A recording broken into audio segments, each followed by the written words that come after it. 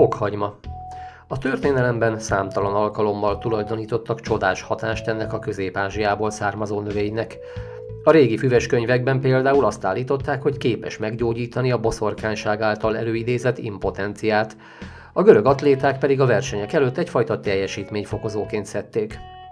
Régi hiedelem, hogyha néhány gereszt fokhagymát teszünk a párna alá, vagy bekenjük vele az ágy szélét, sokkal könnyebben jön az álom, pihentetőbb lesz az alvás, és az ébren lét is nyugodtabb lesz, mert az erős szag elriasztja az ártó szellemeket.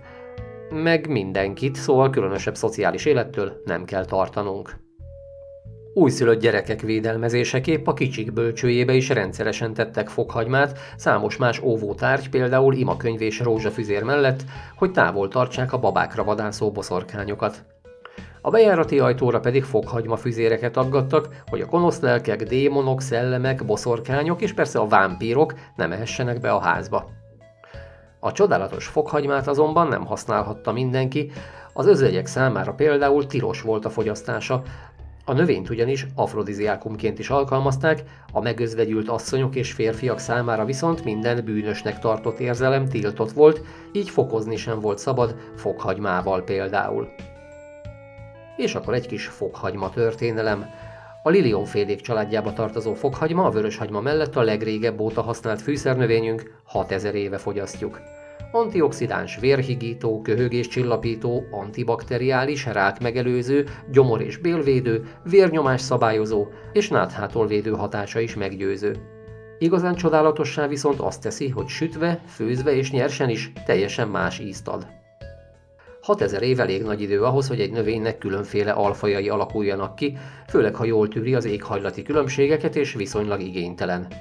A fokhagyma igénytelen, úgyhogy semmi meglepő nincs abban, hogy jelenleg körülbelül 600 alfaja ismeretes és használatos világszerte. Ilyenek például a rokambole, a porcelán, a lilacsíkos, az ezüsthéjú, az articsóka fokhagyma, az elefánt fokhagyma és a fekete fokhagyma, valamint ezek különféle alfajai. A fokhagymának a világ számos országában saját fesztiválja is van, aki pedig azt gondolja, hogy a fokhagymáról esetleg nem írtak verset, az nagyon téved. Íme. A húzattal a konyhán átsuhan, mint lucskos arcon a szivárvány roham. Mint háziasszonyod körmén lakja a kövérs a Vézna utcanőknek, nyomtalanul és felejthetetlenül egyben, és vonul tovább a tűző napkorong az égbolt felásott földjén, és duzzadt gerezdekre bobolva ontja dúsan a bűzét a laktanyák s vénbanyák konyháin. A fokhagyma.